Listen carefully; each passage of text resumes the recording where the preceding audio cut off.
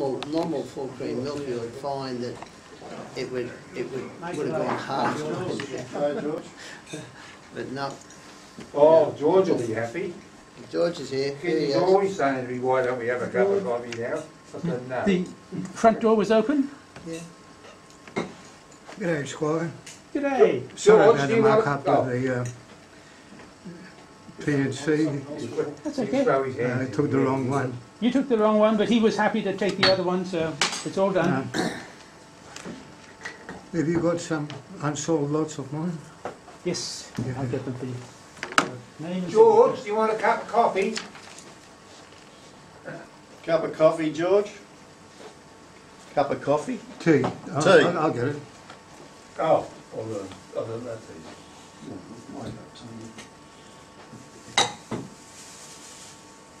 There you go, guys, if you want to put some coffee, um, milk in them. Here you are. George, Yeah, that's- Listen, I tried to, with the next lot, I tried to email the, the list three times. I've made so many Next mistakes. time, just bring them in like you used to do, George. You got Can them I, with can, I, you? can I give you a lot? Can I give you a lot for? Yeah, give Next me the lot for the next auction. It'll be the January auction. Thank you, Tony. Yeah, you're welcome. I could have used them in the auction that's just starting, but.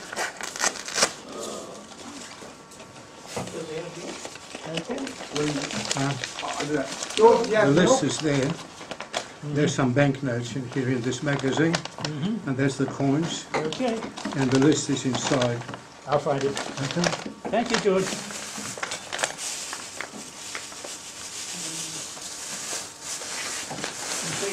Okay. It's on recording. You can start whenever you want.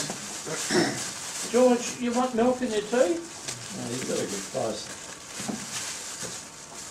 He can't eat with his mouth Um, I'll have a bit of a demonstration, okay? Do you, you want to take over as president? The AGM tomorrow. I've got some. I've got, I've got some stuff to show, right? Okay, Uh, in, in a minute, we'll, Yeah, we haven't started that bit yet. yeah, you got to sit. Have a seat and we'll just, I'll we'll just have just a, get it started. I'll just have a quick. I don't think you heard you. No, it shouldn't be. Do you want sugar? You're buttering me up There's so sugar that. I can stay, Hey, can stay free. at the front. Well, that's, that's a guarantee, You want to That- that's a dead little set bit sir. put it on there? I was just reading, Rod's already told me I'm staying. There you go. Sorry? I I just read this and I said, look, Rod's already told me I'm staying. Ah, no. That's pretty right. Well, this one here. Congratulations. There's a coffee there. I thought I'd got everybody to Propose a toast. I think you're right. Yeah. Yeah, right.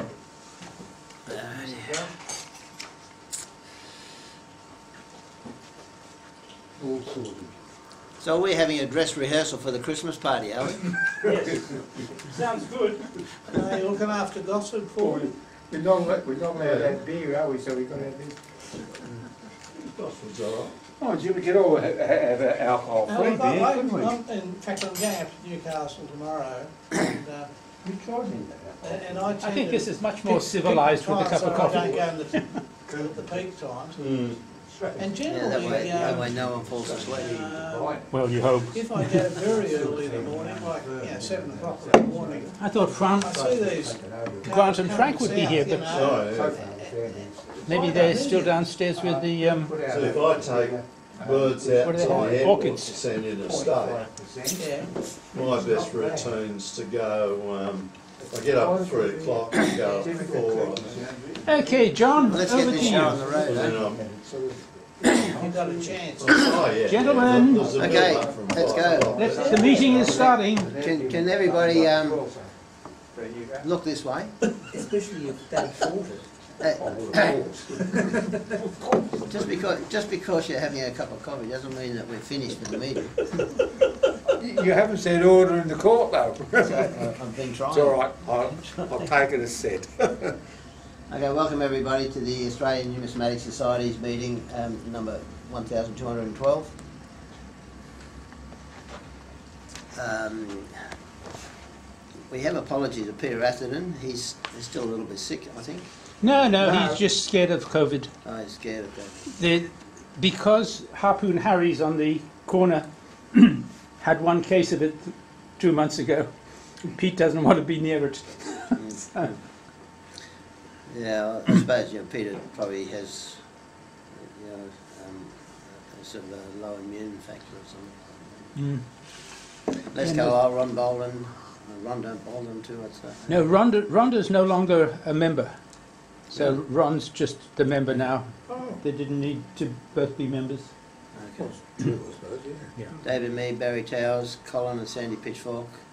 Hey, um, I, I was down at um, Noble's the other day because I was in the city, and um, and uh, Jim Noble told me that uh, Colin's been um, he doesn't go into work. That's right, he does it from home. He home. does it from home. He and Sandy. Him and do it from home. So you know, like he's he's being sort of very cautious too. Because of COVID, is that right? Yeah. Right. Well, Cole's, But then again, actually, when I last saw him, he's aged a lot in the last Mm. last year or so. Yeah, no, but but he looks it with you know. mu- You're looking good, gosh. Yeah. Look at that calories got. That's okay. Great. Glad that you're going to be president again, isn't it? Good. He'll last another year. You're still standing. You can do it. Okay, Lindy Hall, uh, Matthew Lloyd, um, And John Manukas. John McNucas, okay. Is there any other, anybody that can sort of, um, I guess since Frank and Grant aren't here, we'll put their names down, Yeah. and Maury Brad as well. okay. General business, um, the meeting on the twelfth of October is here again at the Philhouse House. The topic, um, next month is Australian pre-decimal. So George, you'll have plenty of things to, to show, right? Members' choice. Okay. Oh, no. Australian pre-decimal. Australian pre-decimals. Um, yes. Rod's organised auction forty-one, it's now open and we'll, um, it'll be, is it, is it on, is it online yet? Yes, it's online. I put it online last night after I got the last lots listed. And uh, Okay. it, it closes with the meeting next Close with month. the October meeting. Uh, the end of money fair is not on, is not likely to be running in October, um, well, it's the same as, um, Petersham. Um, now, I did speak to somebody about Petersham and they said that, um, they believe that the, um, the council who own the hall at Petersham have, um, have, uh, decided while no one can use it, they decided to renovate it. So that might sort of add to, to the, to the, um, closure of Petersham uh, Fair, because, Gosh, um, that- that's by the time they can, eh? That's a blow, isn't it? Thank you. And by the time they finish doing the renovations, it'll probably be about five years down the track. So, anyway. Uh, any other general business? Yeah, the IBNS, I was concerned that it was fragmenting because we haven't been able to have meetings at um, Jim's. So a mate of mine's inheriting a church and uh, it's called the Old Church Bookshop, Marsden Road, Carlingford. A lot of history about it. Yeah. And uh, he actually gets the cemetery as well. It's rather, rather intriguing because when the um, when the people were given the, the land for the church, they then approached the fellow. Can can somebody remember? Is it Mobbs Hill Road that Channel Seven was in or something? Uh, Does that ring a bell? Mob. Anyway, I I mightn't have this exact right, but apparently Mobbs owned all, a lot of the area at Carlingford, around Carlingford. So he was willing to give a block, uh, some land to the church. Anyway, the church no sooner set up and said, "Uh, there's not enough room for a cemetery here. So he gave them another lot down the road. So this mate of mine's inheriting both. And uh, the first person that was buried in the cemetery was Mob. So Um, as I say, it's a historic building. Okay. Went down, and had a look at the other day. I put up to the IBNS, I suggested Phyllis might be a go too, but once again, the um, committee are all COVID, worried about COVID. So they think it'll be good in the interim before they go back to um, Jim's. And I'll see how it works out. So we're having our first meeting on the 11th of October on a Sunday between 11 and 1 p.m.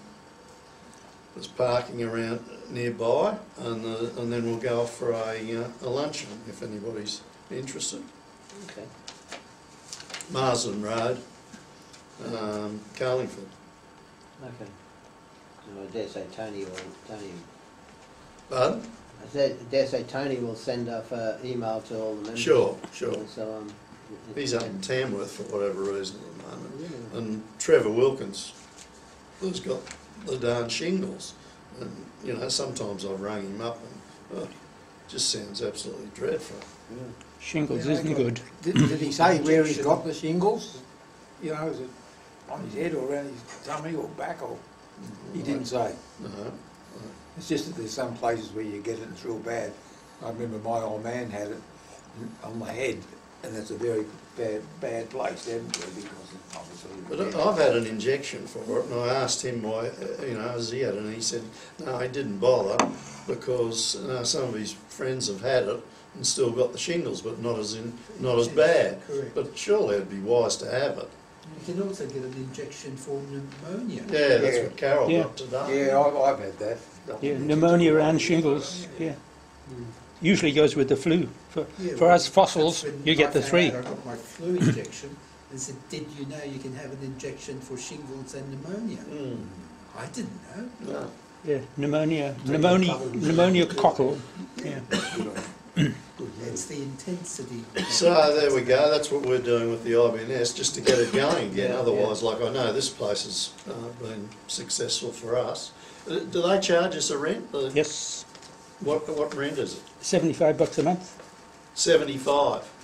Oh, well, I've, I've done it, cut a good deal, it's only twenty-five bucks. 75 here.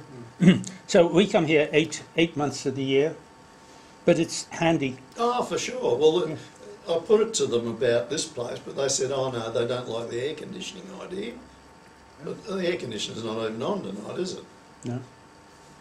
In the summertime, they you want the air conditioner on. They, they like the idea of getting away from the city environment. Yeah. The, the only trouble with getting away from the city environment is that some people travel by public transport, Yeah. and it's not that easy. If Yeah, but they can, uh, we'll, we'll arrange a, arrange a roster where we pick them up at a, a uh, nearby railway station. Yeah. It's not Carlingford railway station, is it?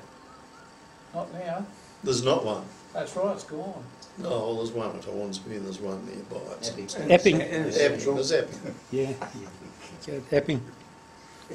Um, a bit of general business, um, I don't know whether you've all heard it or not, but the Royal Australian Mint have been doing a fair bit of advertising uh, lately on the radio as well as on, um, you know, um, The volunteer internet. dollar, Uh, donation dollar, donation dollar. right? Another They're- ugly coin. They're, um, they, they've produced this, um, this, uh, dollar coin. It's, it's, it's nothing fancy. Um, No, it's got a green colour on it. yeah, it's a good, Blue, is it? I thought it was green. I'll see if I've got a picture of it. I I didn't know whether it was blue or green, but the ones I've seen on the thing are are blue. Oh, Uh, But they only made three million of them, No, didn't they? That if was you, what if you, was um, stated. that's what it looks like, donation dollar. Well, that's green. It's green to me. Yeah, Yeah, it's got a green circle around it, but that's what it is. Give to help well, what's others. that one? That's, the- all that part there is all green, right? Right, but the whole idea of this donation dollar is that if you get one in change, they would like you to donate it to a charity. Everybody's I reckon it'll go into Put- put it in collections and another, another coin will go into salvos or something. Mm.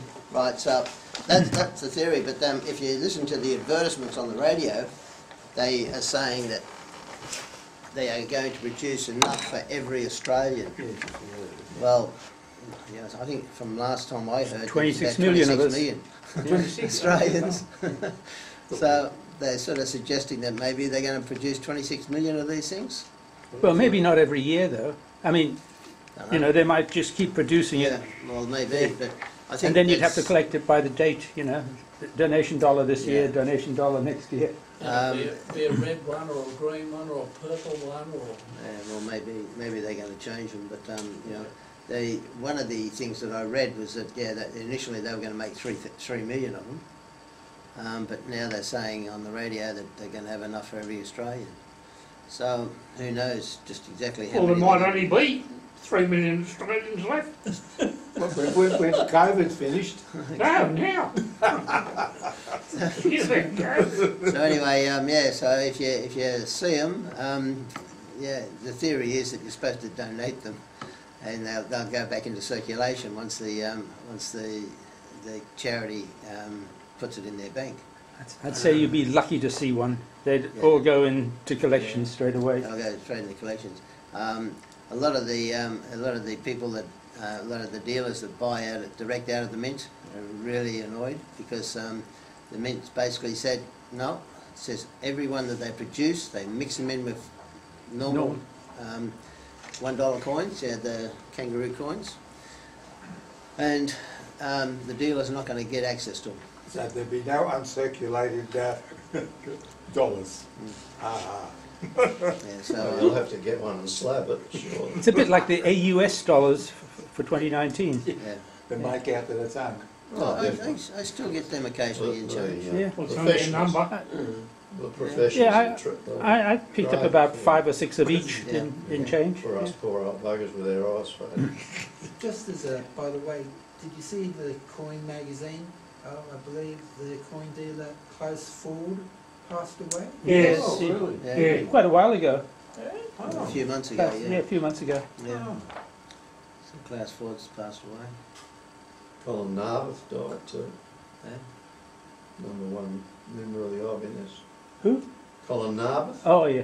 Wonder what'll happen with Klaus's, somebody gonna buy his lot and another business, keep it going, or, No I don't know? He did, you know, like in, in, in the, you know, in the past few years, he's had, he's had somebody working pretty closely with him. Um, you know, the, the, at the different coin fairs that I've seen him at. Um, so, you know, maybe th- that guy's gonna take over, I don't know. So, yeah, Right. that's the way it goes. But, um, yeah. All right then, um, any other general business? No? It's a copy for you as well. What's that? It's my report when we come to Oh. AGM. I thought it was the one that you wrote for me. All right, well, listen, um, if, um, if there's no other general business, um, as we said, um, yeah, the, uh, we, we, ha- we haven't heard from the ANDA people as to whether they're going to have it or not. On the website, it's listed as, as running, Right? but because it's run out of Melbourne, it's unlikely. Yeah, So okay. it's, it's touch and go, but it's probably not going to happen. We're- we're just too close to it to, to it really taking taking off. Mm. Sure, okay. Yeah, well, I've been, I've been watching very intently about the, about the, the situation with, um, the World Money Fair, which is coming up in, end of January. Um, it's only four months away, and, So they'll have to make a decision soon. well, they are sort of still saying that it's gonna be, gonna be on. But, um, yeah, I doubt very much that I'm gonna be able to get there because of a number of reasons. Well, can you get there? Well, and if you get there, can you get back? Well, just tell them you're Tony Abbott. No. You'll be right. Then you get stoned. Yeah, so, you know, but, um, you know, like the, the, the consequences of going away for two weeks was bad enough. Um, yeah, but uh, you know, if, if all of a sudden, you know, I've got to go over there and be isolated for two weeks and then come back for another two weeks, and it'll be a six week off work. No, not going to happen. So, um, What am I going to do about getting my my euro coins if you're not there? I'll- Got some friends over there? You got, you got some plenty of guys out there. I can't do. John will just get twice as many the year after. Yeah, just get them the year after. Yeah. So anyway, that doesn't look like it's um, because you know every every every week it's um, you know something else happens and Well, Europe seems to be going through a second wave now. You know, you Yeah. sort of look at France and, and, Spain. and Spain and all the Yeah, numbers are coming up again. yeah. Ge- Even Germany. Germany as well. Yeah. mm, I'm, I'm watching the Tour de France and I'm just waiting for that to um, Yeah, cop it in like- some form and they'll cancel it. You know, they'll stop it, but they've only got about, oh no, eight days to go. And they're, they're outdoors too. You know, it's not as if they're indoors. Yeah, indoors. but they reckon if teams get it, the team's definitely out sort of thing. And what happens is a pile up, I mean, gee whiz. They're not keeping a metre and a half, are they? Or even in the packs, they're not. Yeah, that's right. Yeah. all right. Look, and um, we'll um, we'll suspend the general meeting and um, we'll open up the um, annual general meeting. Right. So we'll go with Rod's treasurer's report. I've given everyone a copy of the Treasurer's report. I stupidly made 10 copies, thinking there might have been 10 of us here tonight, but there weren't. So, just to read it all to you. This has been a year with a lot of disruptions. Since March, when the COVID 19 virus arrived, it's been very difficult to have gatherings, and our numbers at meetings reflect this. As per recent years, our membership numbers keep dropping. The 30th of June, our membership was 157, including 17 complimentary, so it's really 140 members. Today, it's 153, with still the 17 complimentary. And I expect a steady decrease in numbers as we're all getting old, all getting old and a, a few members are still to renew. Here's a, just a list of what we did last year. The July 2019 meeting with, had a distribution of the Pillar Dollar Medal. The topic for the night was ships are numismatic. And at that meeted, meeting we started video recording our meetings on YouTube. Also auction 37 closed. So it was quite a milestone setting meeting with the uh, YouTube start. August 2019 had the topic of France of Louis XIV, and David Mee and Rudy Talmax showed a great selection of medals of the period. Chanel Noble and Sandy Pitchfork came with Colin and Jim and Bob Clemson, and they joined the ANS at that meeting. I haven't got their renewals yet, but I'll chase them. We were advised that Bob Roberts had passed away in August. Many of us went to his funeral. September 2019 was our AGM. The same council was returned then, and no doubt will be returned again tonight. The topic for the night was numismatic clubs and society medals. We had a fairly good turnout. The October 2019 meeting was members' choice. We also organised the roster for the ANDA Money Show at the Town Hall. Currently, I'm not sure there will be a money show this year. Personally, I doubt it. November 2019 meeting was at Noble Numismatics where Jim showed us the highlights of their coming auction. December 2019 meeting was the usual competition display and Christmas social, and Rudy Tolmax won the best medal for his display of Dutch medals. I never associated Rudy with Dutch medals, but you know, he always associated him with French medals, but he had a good collection of Dutch medals. January 2020 meeting was shrouded by bushfire smoke, and the topic of the night was gold and silver. And John was complaining because he had his his three silver one kilo bars. you said you said you, you wanted to show it. At uh, You showed it the, the meeting before, not at that one, I believe. the East India Company Star Pagoda Proclamation coin was for sale to members. Auction 38 closed at the meeting, and member Tony Dalton attended and took home most of the ANS medals on sale. It was actually good to see Tony that night because then I didn't have to mail this bloody two tons of, of stuff to him. He could take it all home. Um, February 2020 meeting had a paper money and polymers as, as a topic. We were advised Sandy and Colin, Colin Pitchfork had lost their home in the, the holiday home in the bushfires at uh, Lake Conjola. March 2020 meeting was at Noble Numismatics and Jim showed us the highlight of his coming auction. And just as well, we, we had it then because after that the virus took over and we didn't have a meeting for a couple of months.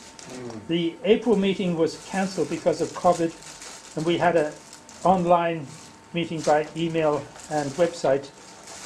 The topic was Spain and colonies, and we got quite a few interesting articles that members submitted for it. Uh, it was nice to see that we could still communicate and have a bit of numismatics.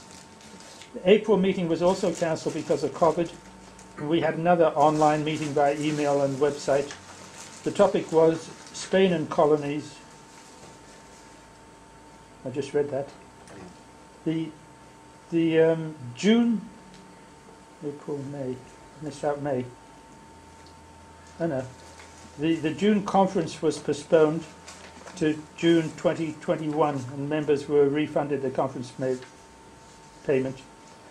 The May 2020 meeting was also cancelled, and an online meeting was organised by email with articles on a web page. Can't remember what the topic was. There was a June online email for the conference, and started a web page where we were showing one article every day from the 8th of June, which is when the conference would have started. We managed to get 30 articles, so it went all, all the way through like to the 6th of July or so. So one a day, and it was every day I would link the, the item and send the email. And I got really good response from everyone on, on that. So, it, you know, quite a, quite a few people sort of suggested that when we hold our conference, maybe we should have this online item as well afterwards so that other members can can submit articles and things. There's no reason why not. So you know everyone else feels as if they're involved. The the fact that the conference is now on YouTube. At the last conference, we had the YouTube. We put all, all those eight um, eight sessions on eight different YouTubes. So they were quite good, and I hope we have one in June next year. And if we do, we'll we'll do the same again. Um, if we turn over the page, that's page one. That's my sort of recollection of what's happening. I'll put on the treasurer's hat and tell you where we were at the 30th of June. As you can see, at the 30th of June, we had a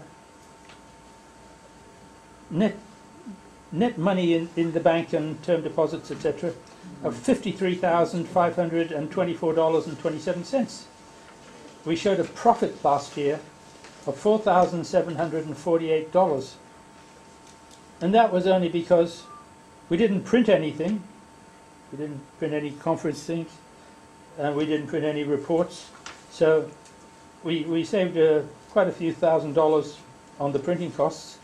And because we didn't print anything, we didn't have to mail it out, so we saved another another five or six hundred dollars in, in postage fees. So sort of the, the profit of four thousand seven you could have probably reduced it to one thousand five if, if we had the the um, a, a journal and postage. Other than that, everything else was pretty steady. Um, we had a lot more auctions. So we were running sort of two auctions a year before, and last financial year we managed to run about three or four of them, so uh, we ran three of them, but they were bigger auctions. I, I went up from 80 odd lots per auction to about 140 lots per auction, so we were getting in more money. So, sale, if you look at the top, sales and postage for the auctions last year was $9,600, and payment to vendors was 8,003. So we made $1,300 profit on the auctions, which was pretty good. Um, also, we sold a lot of um, items. We sold sales of books and medals. We sold $1,135 worth of books and medals. And the medals that we produced was only $831. So we're, we're about 300 odd dollars ahead on those medals. But the medals that we produced, the $831, that was for two years worth of medals, not one. So you see we're, we're getting ahead. Um, the other day, earlier on last week, last Thursday I think it was, I received the next bunch of medals that we made from China. So this big three kilo box of medals with uh, 575 medals turned up, and uh, I took it upstairs. We never have to pay duty on on these things. I'm always wondering why we're not hit for the GST, but I guess because it it's, has a face value of like $300 or so, and there's 570 odd of them. It works out like 50 cents a medal or something like that. And that's just the production cost of, of making the medal. If, if that stuff disappeared and we had to remake it, because we already paid for the, the, um, the molds and the, the postage and all the other bits and pieces that go with it, all we would be paying is 35 cents US to produce another medal. That's just the production cost. But with everything else added in, we're, we're paying like a 150 US to ship it from from southern China to here.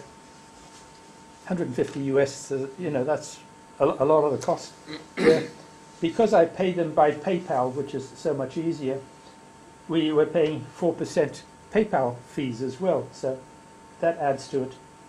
But it's still a lot cheaper than trying to produce those metals here, which I don't think anybody can produce anyway. Our, our medals, you know, the the two different the the medals we produce. The the basic medal is struck in a zinc alloy, so that's that's the production, and then they plate it, the the base color, and then they plate the then they plate the the little medal that it's representing in that that color, sort of gold or silver or, or copper. So there's two plating processes that go on, and I've asked them if they could do more than two plating processes, and they said no. With their technology now, they can only do two plating processes, but the result looks good. You know, I mean, I, I think our medals look really, really good. I mean, I'm biased, but you know, I do think it, it comes up quite nicely, the proclamation medals. So, gentlemen, that's that's where we stood at the 30th of June. If you turn over the page, you'll get to where we are today, 14th of September. So currently we have $54,923 in the bank, and I still have three checks to deposit for membership fees for about a a hundred and hundred and twenty dollars or so. So we can add another hundred and twenty bucks to that. So that gives us a profit of about so far one thousand five hundred for this year, and it brings our our total to about fifty-five thousand something. Um, the bulk of the the funds are now in term deposits, and each year as our term deposits run out, they get renewed again, but they get renewed for 1% or 0.9% or some, some piddly little, little amount that's not worth it. Uh, I sort of look back and thinking, I'm so glad that in the years past I put all our term deposits in for five years. Every time one came up to renew, we added extra money to it and we used to renew it for another five years. So we, we still have three or four term deposits that are earning us two to two to three and a half percent, which is a bloody sight better than what you can get today. but as the term deposits mature, all we can do is add a bit more money and put them in for for the best we can get, and the best you can get is one percent. Also, the, the I used to put them in for five five years because that gave us the the most interest. But today, if you put it in for two years, three years, four years, or five years, they all give you one percent. So I'm putting them in for two years, hoping that in two years' time, when it matures, the the follow-up might be one and a half percent or something. It might start going up. We can only hope. So that's my presentation. Thank you. Okay. I'll be happy to answer any questions. Think I have a good good answer for any question? Well, thank you for doing it. Yeah. Right. Uh, I come to that back page later on. That's This is other that's collection. my topic for the night. Um, look, as far as the uh, President's report, um, I, uh, I haven't written anything down, so I thought I'd ad lib, but then, um, you know, Rod's basically, um, gone through and, uh, mentioned everything that's, um, going on in the, in the society. I thought you'd have brought last year's and read it again, and we wouldn't been any the No, wiser. Just changed the date. Yeah.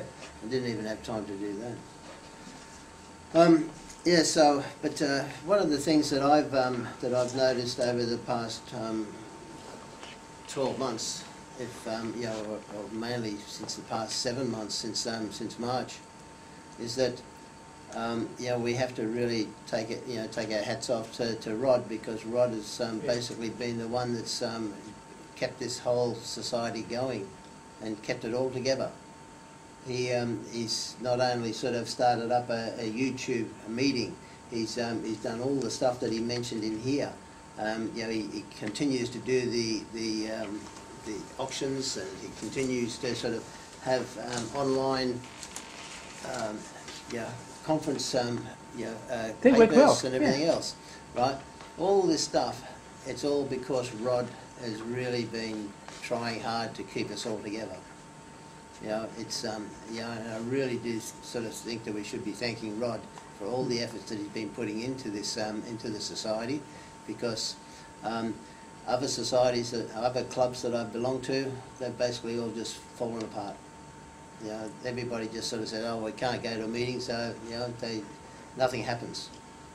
You know, and, and you can see that everywhere. Yes, some of the, some of the, um, clubs and societies, they try to get to, to keep going, but because they can't have meetings, they, they just don't function.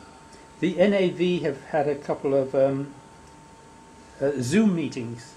Which I, I believe Darren Darren Burgess was saying went quite well. So, if the people here on, on the computer, if you if you like to sort of sign into Zoom, we we could try a, a Zoom meeting because Mm. the the Zoom meetings are, are pretty good. I've I've been on a, a a Zoom meeting with the NAA. Now Walter Bloom in in Perth is the, the president of the NAA, and he wanted to hand over the the presidency and this. The, the president, secretary, and treasurer were all in Perth, and they felt that they'd done it for three or four years. It was time to, to pass the baton on. So last year they said that was the last one. So Walter called this meeting um, oh, about two months ago when we had a, a Zoom meeting, and uh, there was six of us on it. Uh, There was I can't think, remember his name from from Auckland, no, from Wellington. Um, Darren Burgess in Victoria, a gentleman in South Australia, and uh, a couple of them in, in Perth. So there were, were six of us, and it's it's quite good. It's like you see on television. There's it it splits it into six little little sections, and you see all all the different faces of the different people at the time, and you sort of each speak or, there, and you you can get up to 15 or 25 even on this, but if you get 25, it gets a bit bit crowded. But you know, any, anybody, if we wanted to, anybody who is online who there, we could really have a an ANS meeting with you know people in America and Europe and whatever all there. You you just have to pick the right time. The other person on on that um, NAA one was Ken Sheedy from Macquarie Uni. And so we were discussing Zoom, and Ken was saying that he he attended a co- Zoom conference that was held in the UK, and he said it was a very interesting conference, but he said the only trouble is because of the time difference. At half past twelve, you know, a little after midnight, he got tired, and they'd just finished.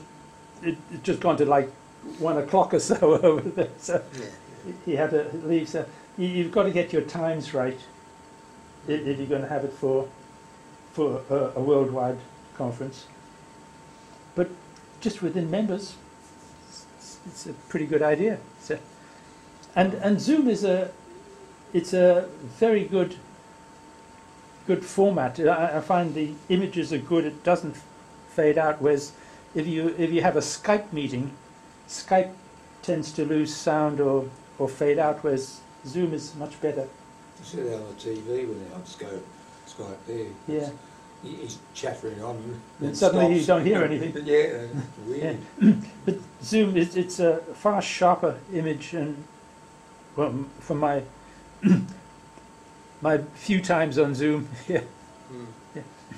But it's, it's good, and it's like I, I had a, a Zoom meeting with Darren Burgess in in Victoria because Darren has put his hand up as secretary for the NAA, and he was saying that he felt he was ha- would be happy in a few years' time to take over the presidency, but he thought he should become secretary first. I was thinking that's good because the secretary does all the work anyway. Yeah. Yeah. And uh, Darren is a you know very good worker, so he had a bit of life there, which is good. Well, that's what I was basically saying, you know, like, um, you know, for, for the past seven months when everything has gone in, into turmoil, you know, Rod's been the one that's always been thinking about, you know, sort of bringing our members together. And we did Uh, the the the, the conference. Mm. You know, if you, if you look at all the the different conference papers we got, they were really good. Yeah. And I have to thank Rossi because he, he helped me out with quite a few of them because people kept send, sending in the stuff as PDF formats, and I couldn't transfer the PDF format as an HTML format. I could do the, the text bit, but I couldn't do the images. Okay. And my printer wasn't any good, so I had to get Ross to keep printing things out for me. Worked well. Well, thanks, Ross. Yeah, so, um, yeah, now, moving forward, um, you know, I dare say that, uh, you know, we, we all need to sort of start thinking of other ways of, um, trying to bring more members back to, to meetings and, um, you know, trying to get them to interact a lot more. Um, I'm sure that, you know, if we start sort of, um, putting it to the- some of the members that just simply can't come to the, to the Philas House, um, and if they are online, they will be able to sort of, um, you know, participate in the meetings again. So, you know, it's, I suppose, um, in one way, the technology is, is going to sort of um, bring us, bring us together again. So, um, but, uh, yeah. I think we'll all have to go back and work on vaccines. It's the only way to do it. Excuse me, Rod, do- you have to sign on individually for Zoom, don't you? Yeah, I mean, And you basically, fail. That Once, one, annual once, fee or- once you have Zoom, On your computer. once you've installed Zoom, Yeah, and say you and Tony and, and John wanted to have a Zoom meeting with me, I was going to host one. I, I would set it up and I'd get the Zoom sign-in code and I would email it to you. Say, here's, here's the Zoom. So who's all you do is- you or, or No, we, we, you, you'd be already on there and you'd already loaded Zoom into your computer, so you, you have Zoom access.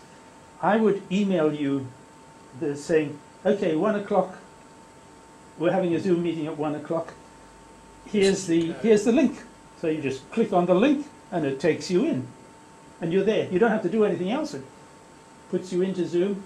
Um, once you get in it, it, it'll bring it up, and then you have, have to click on a couple of the, the buttons to say, do you want your audio to be heard? So you click on yes on audio, and you click on yes on visual, so they can see you and hear you. And you're there, and as each extra person comes on, they got get added to the, the ones on the screen. And it just rearranges it. There's just two of you, you have half a screen each. There's four of you, you have a quarter each. There's six, it's sort of two by three, etc. So it it can do that. It's So you all it's, to go pretty out. easy. You all got to go out and buy 29 inch monitors. you can't have a little 12 inch monitor like on a laptop. I, I've got a very very big monitor, but I always have two screens on it. I always have it split, so I use one for one thing and one for the other. So whilst I'm talking on Zoom here, I could be doing a spreadsheet or something at the other side. You know? multitasking. Yeah. Um, yeah, so getting on with um, my report, and you know, I suppose that uh, one of the other things that I really liked is it's a shame that we didn't have our, um, our, our June conference. Um, I was looking forward to it, and um, for months before um, COVID, I, I kept on sort of trying to get people to sort of, you know, go to the to the conference because I, I really feel that the conference sort of helps you improve on your on your collection because you, you, hear and you, you you listen to the different um, uh, talks that the members give, and they just you know they're, they're so so everybody gets so enthusiastic about everything and, and it's just fantastic. So it was a bit of a, a bit of a shame that we couldn't do it um, this year, but um, as Rod said, we're going to do our best to get out there um, in uh, June 2021. Uh, we skip a year, so what? You know, we just move on. And um, I think that's just remembered something. We should have stood up for a moment's silence for Merv Meads. ah yes. I'd for, Merv forgotten Merv. Um, at our conferences, Mervyn Meads is one of our Brisbane members, and uh, he and his wife Heather always attended the conferences. And uh, unfortunately, last month, Merv died in a, a boating accident in, in Queensland. He and, he and his cousin went out fishing in this runabout, and a freak wave came and toppled them, and I think they both, I think they both died. I think his cousin. Yeah, they both died. Um, the the news report was that um, a nearby yacht um, plucked one of the people out, um, but um, he died a little bit later, and the other the other person, um, yeah, died in the water. But I we don't know whether which one was Merv, so I don't know whether Merv sort of survived that little bit extra or, or what. Yeah, but I, I I had a look at um, online on a, on a few occasions just after that thing to, to try and you know see if they actually name Mervyn, but um, no, yeah, I didn't get any information about it. So yeah, I I think um, it was Col Thomas who phoned me to tell me about it, and I sent an email to everyone. Um, I think Merv was the person who died first, who, who drowned in the water, and it was his cousin who died in the hospital. Yeah. But maybe we should be up standing for a minute. Well, that's all I had to report anyway. So, so we'll have a moment of silence for Merv. Yes, I'll miss him and, and Heather at the at the conference. Mm.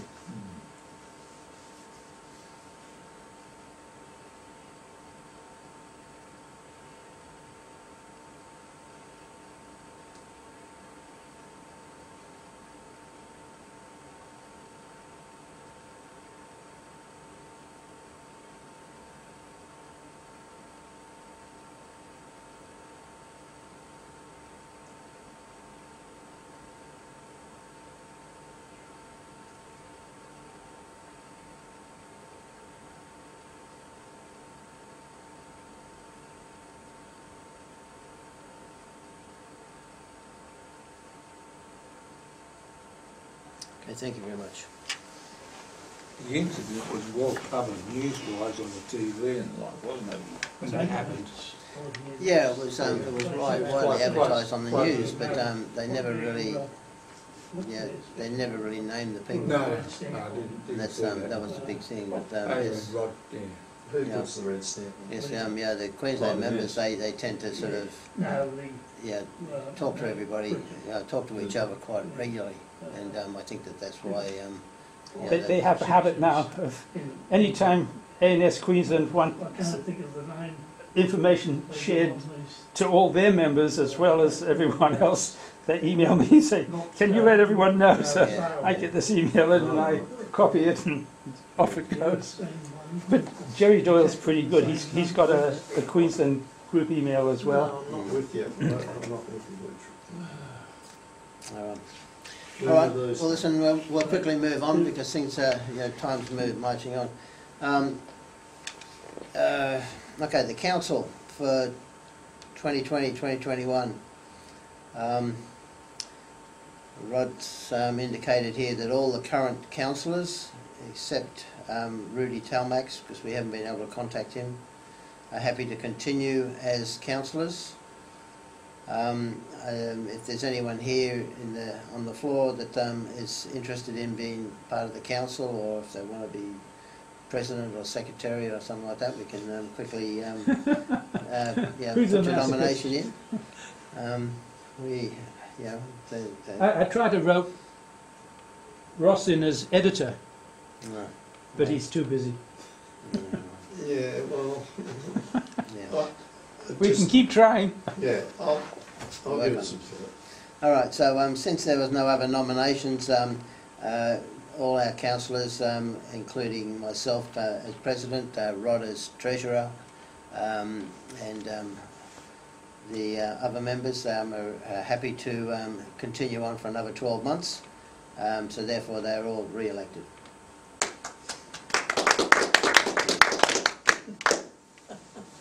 Um, as we um, both pointed out, that the ANS conference um, is scheduled for June 2021. So, um, you know, like um, for the next um, uh, 10 months, we'll be talking about um, all the benefits of going to the to the uh, conference. So, uh, just um, be aware of that's going to be happening. I hope by June the Queensland border is open. Otherwise, there won't be a conference. She's a dreadful lady, uh, right, Premier? She's still got a pretty good following up there, evidently. That's ju- crazy, absolutely It crazy. is, yeah. All right, well, listen, we'll close the AGM. Um, and we'll resume our normal meeting, our normal um, monthly meeting. Um, we'll go straight to the topic of the night, um, which was members' other collections.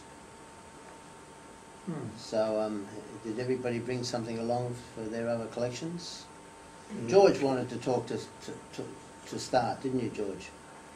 Do you want to pick up you come and um, you can show us your. Um, um it'll also be recent acquisitions as well as other collections. You got recent acquisitions or other collections, George? Oh, you've got to do that. Yeah, I'm not. I think what I'll do is mine. Thank- Thank you. we will register- I'll come back.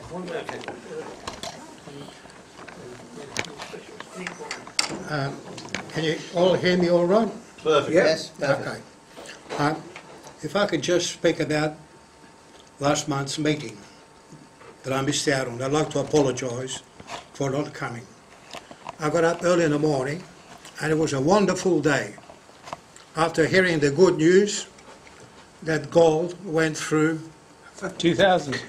2,400 US, which was nearly 3,000 Australian an ounce. Likewise was silver.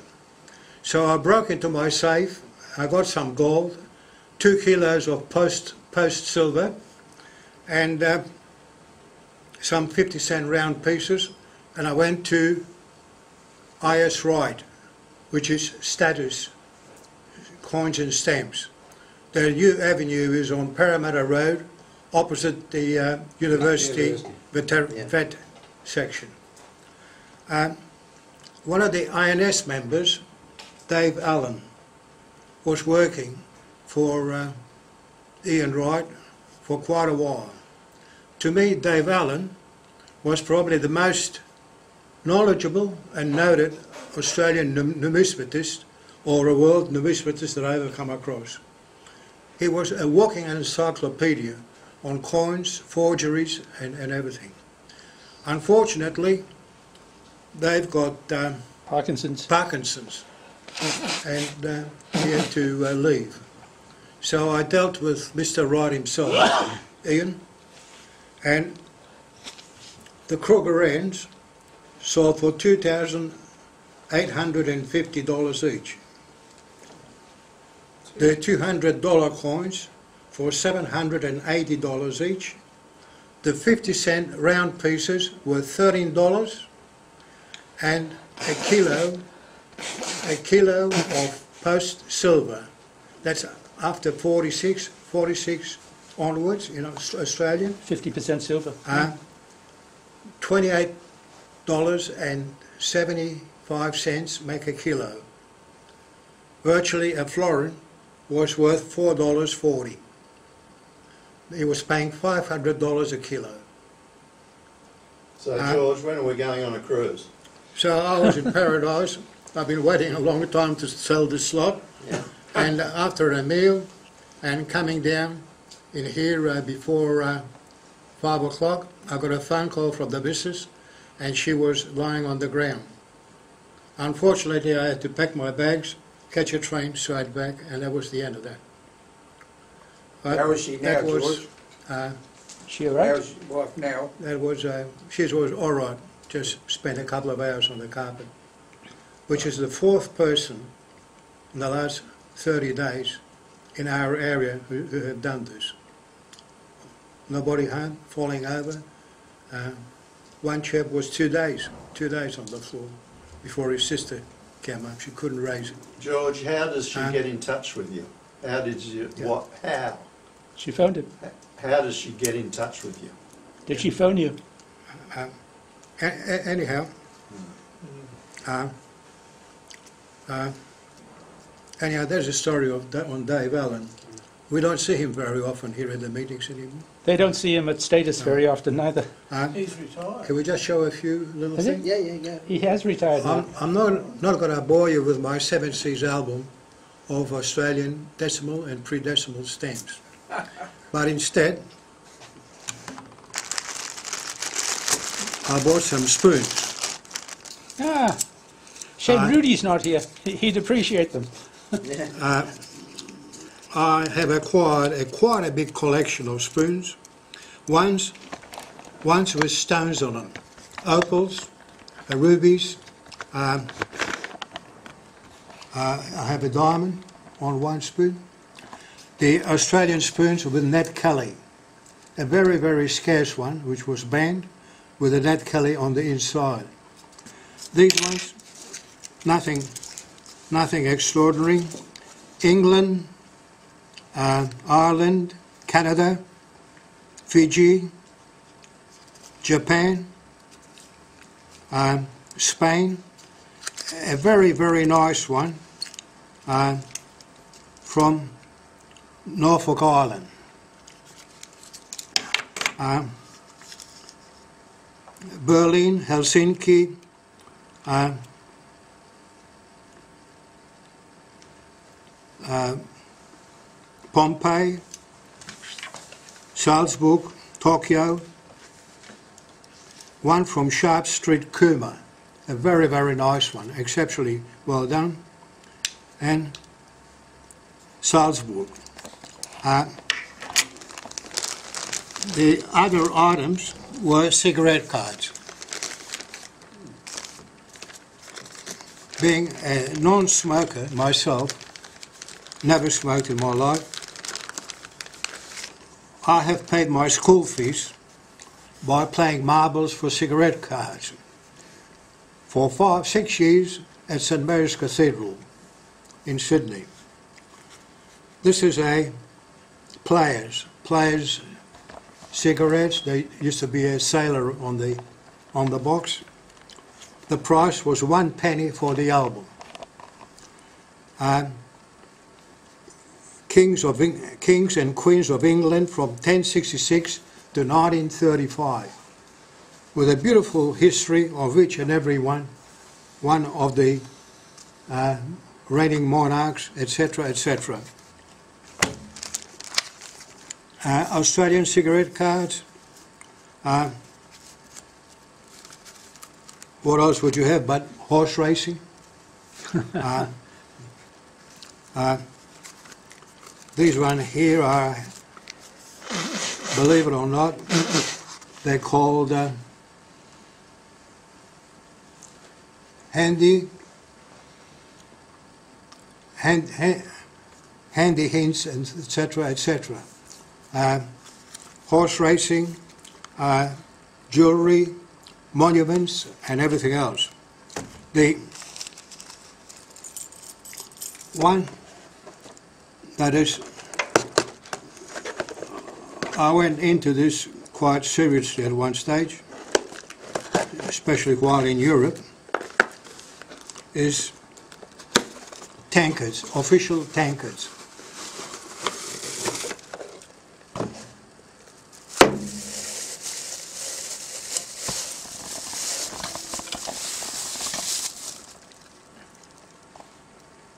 This is the Australian bicentennial, 1788 to 1988 tankard. On the back is inscribed the whole history of Australia, from the number of Aborigines to number of people killed in the Boer War, First World War, Second World War, Korean War, Vietnam, uh, inscribed the Australian bicentennial official tankard with emblem and and uh, certificate, only 7,500 issued, inscribed with Australian history, engraved with the number, hallmark Melbourne, with a glass bottom. And this is the owner's certificate number on it, etc., etc., etc. If you have a look at it, you need a magnifying glass to read it, but it's a beautiful uh, engraving on the on the whole thing. Can you? Good. It's silver in it, George. It's pewter, is it? Oh, It is pewter? It's the way it looks like it's heavy. Well, you shouldn't drink out of that, it'll give you gout. Thanks, George. Yeah. That's why all the water's down, they're all. Uh, just for the record, I have a German tankard from 1942 under the Third Reich. We are winning the war on three fronts. Well, We were bombing. England, but England and other forces were bombing Germany. Uh, Rommel was losing his battles in the desert, and we were having a bad problem on the Eastern Front, fighting the Russians in the cold. Uh, and yet they put out a tankard for a victory. so I got a few American ones, British, a very nice Australian one uh, for the Harbour Bridge. Uh, I got two of those. This one here is for sale if anyone's interested. Darn cheap. Maurice, you got anything to show? Somebody else can go first. Somebody else can go first. Um, I brought, uh, uh, them to, uh, it's just other collections. And, uh, can't really sort of show, people have to look at it themselves.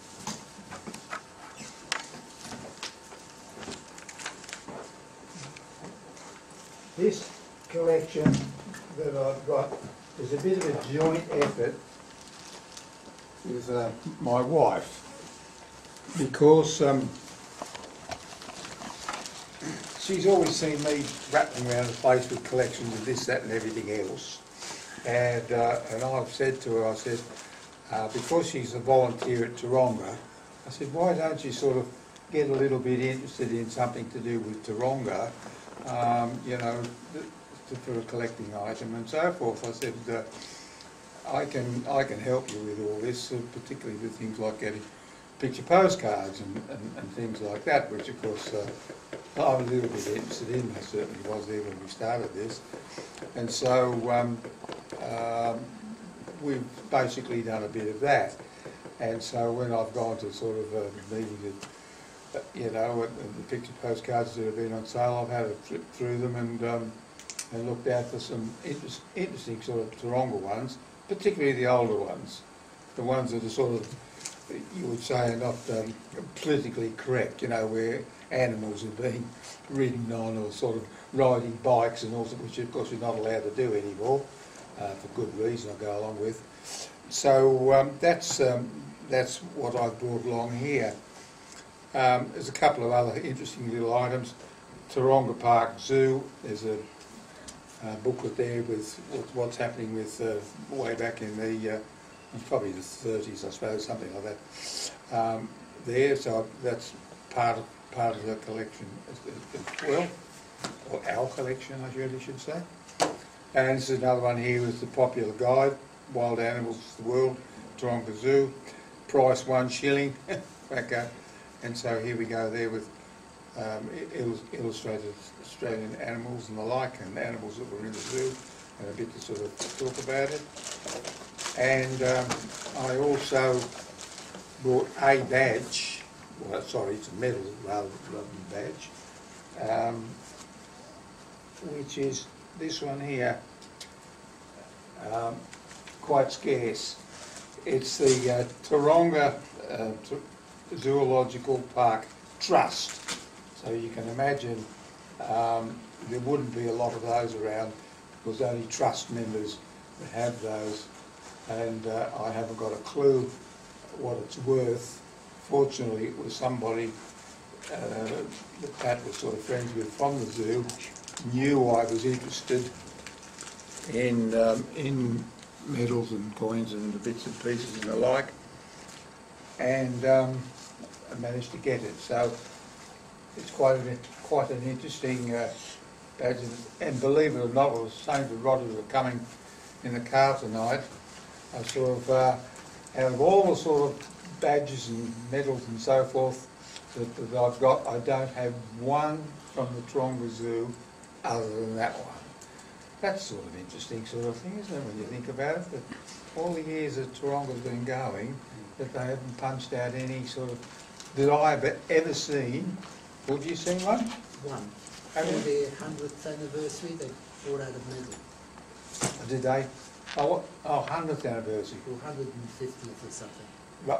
There is one Oh. medal I know. Tony, aren't you forgetting that it's not yours anyway, it's your wife's, isn't That isn't. it? Oh, right. That, that, that, that's not split, fifty- that's not split 50-50, that one, that's 100%. It doesn't say the maker on it. I don't think it did, because usually I, um, You said not Amors on it. oh, oh, hang on, I've got Amors on, that's correct. Yes, it is Amors.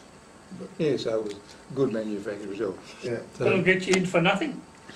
and I, I got it for nothing, yes. Now, well, that'll get you into the Taronga Zoo. They'd probably think I pinched it. um, but no, yeah, I think you have a little bit more than that. They, they, I, I think most people probably uh, would have never ever seen that because, Do you know what era it was from, roughly? look, I, I think it's probably, looking at the, the way the, the pin was at the back, I would think this goes back a bit actually. I Does it would, just say Amos or Amos Andes? uh, no, it's sort of a, it's not transferable and it's, it's just Amors of Sydney. Yeah, so that'd be early. Mm, So I think that, um, I think it probably goes back, it could even be thirties and something like that, because I asked somebody this and they, they didn't know, but the condition of it, you would think it was made yesterday, you know, but anyway, that's it. So, um, so that was that. In here, I guess the best thing is to do for you to have a bit, a bit, bit of a flip through it, but that's, that's the, that's the sort of things that they are, see. And you've got, um, these animals that are sort of riding bikes and all that sort of stuff. I can remember some of that when I used to go there, when I was this high. I guess some of you guys can probably remember the similar sorts of things. And um, we used to um, r- ride on the elephant, of course, we all jumped on the back of the elephant and rode over. Of course, I told my kids that, or my grandchildren that, and they said, you went right round the blinking island. I said, yep. and uh, and it was good fun, and uh, but of course we're not allowed to do any of those things now, which I suppose is probably the right way to go. But I'll leave that there for anybody who want to have a bit of a flip through and look at it. And um, that's a, a joint collection um, of Taronga. Thanks,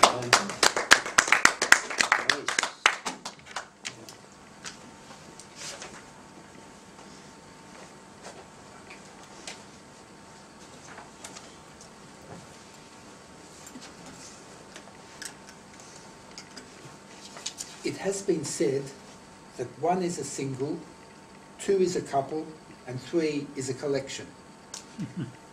Whether or not I do collect this, I'm not sure because I only have three of them. They are Zippo lighters from the Vietnam War era. Unfortunately, the three of them are fakes, copies, or reproductions. I thought one of them was genuine, but no such luck. The only way you, I guess you can get a genuine Vietnam Vietnam War Zippo lighter is to buy it direct from a veteran with a photo of him holding it and his service record. It's becoming very difficult to get them especially in Australia. Uh, in America, it may be easier because they were the bulk of the soldiers who went to Vietnam. I don't know uh, if you remember a movie called The Odd Angry Shot with Graham Kennedy. Uh, in that, there was a few scenes where a lighter was on a piece of string in their barracks and they used to use it naturally to light cigarettes. But when they left, uh, they basically ceremonially cut the string and brought the uh, cigarette lighter back home. It was a symbolic gesture of while they were le- leaving Vietnam, Vietnam really didn't leave them. What do they say? Well, the atypical type of thing that they basically say is if I had a farm in Vietnam and a home in hell, I sell my farm and go home. By the near the end of the war, I think the soldiers really didn't want to be there. The American public didn't want them to be there, and that was where, as most of us can remember, that was where the conflict in Australia and in uh, uh, America uh, was occurring they, you also get things like let's peace hold her way over the earth. And this is the one I think I thought may have been legit, but it wasn't. Other things that said, uh, this is Vietnam 69 70. If there must be war, let it be in my day so that my children can live in peace. They're very interesting collection, uh, all sorts of political, uh, soci- sociological uh, implications on them. And like everything else, if you want to collect something, buy the book. And yes, there is a book about Vietnam cigarette lighters. Uh, it's just an interesting part of our history that finished uh, and uh, it's, as I said, it's rather difficult to get a genuine piece. I guess I've been told if you could go to Vietnam on a holiday, you can have your choice of what they have for sale, but they are all fo- forgeries. I guess you could get to the, uh, a nice collection together of forged cigarette lighters, but I don't know if you really want to buy that. Can I show it on the, the, the, the lighters? And that's about it. Morris, what, what Give me got the- the lighter. into you to start collecting those? It was just, as I said, I'm not really sure that I do collect them. That's all I've got. Well, you got three, mate. Yeah, well, It's it's just the era that they came from.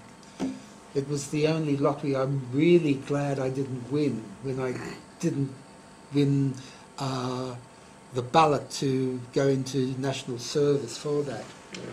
You. I did. Oh, okay. Well, I, I remember when I was studying accountancy at what was called night school, uh, there was one bloke there who sat very quietly, didn't take any notes, didn't ask any questions, and uh, it just was an unusual way for a student to behave.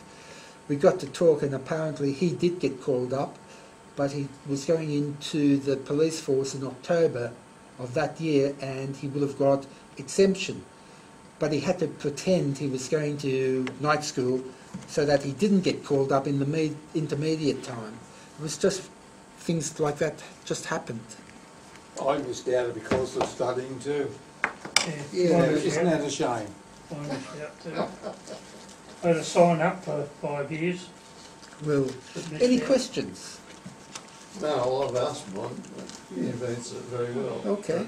It's Oh, I, I wanted to ask Quite you, interesting. Where, where, where were the original ones made? In the US, were they? or- oh yeah, they were all All- uh, officially issued Zippo lighters, and and again you can go into the history of the Zippo lighter. I can remember Zippo lighters when I was at school. Uh, I mean, with the question. zippers, you You're used not to be able to smart, right? No, I'm not a smoker, but I do have you cigarette could flick them one way. If you did that, it would open itself. There was, it was sort Yeah. of cool if you could. Oh, Yeah. One that hand. was in a particular movie where they actually were able to open it with one hand and flick it on at the same motion. Yeah. And that, that's in a movie. Yeah. Morris, are you saying they were issued to the troops? No, the for that era they would just normally produce Zippo lighters and they got them engraved themselves. In a lot of cases they put something, let's say they were on a, a ship that was serving up there, so they got something relating to the ship and they welded that onto the cigarette lighter. Or they just got engraved their own battalion number and their own company number and any saying that they wanted to put onto it. Uh, the um, origin of the term Zippo, any ideas? No. Uh, 1930, uh, this gentleman had the patent for an Austrian cigarette lighter that he could manufacture in America, but he didn't know what to call it. The zipper had been just patented in America in the early 1930s, and he liked the sound of the word zipper. So naturally, he played with it and called it Zippo, and that's how the name came about. It's a interesting. I do have another five, six Zippo lighters. Please don't ask me why I have six lighters. I don't smoke. but Two collections. Yeah, Uh, you're a collector. these are the only ones that relate to the Vietnam War. Oh. Ross, you got something? Gosh, can't wait. I've got to continue on about the zoo though, because I, I used to work down at the zoo. It was another part-time job just to, you know, help help the uh, poor Banky with his, I don't know what I started on, but it would have been in the sixties. I worked down there for uh, nationwide restaurants on a, on a weekend.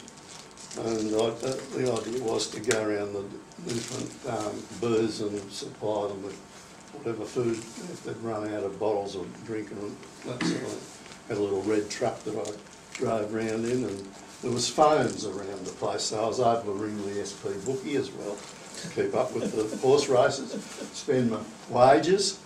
And then my first job on a Sunday morning was to go into the cool rooms and there was still the cream buns left over from the previous day, and just neat, just neatly flick off the mouse droppings.